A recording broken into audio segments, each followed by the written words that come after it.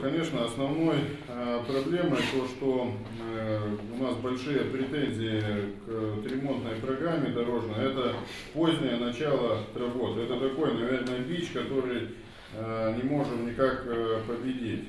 Поэтому вот основная, основной вопрос, который я обозначил всем своим службам, выйти на заключение контрактов уже в апреле месяце, чтобы в мае месяце приступить э, к сезонным работам, ну, э, строительным, как это вообще в принципе и положено.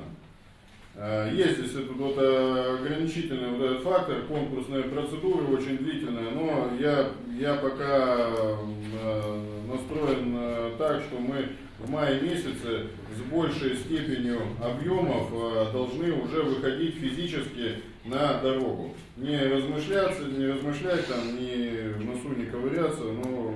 выходим, уже и делаем. Там часть, понятно, работ пойдет там на июнь, но в мае надо максимально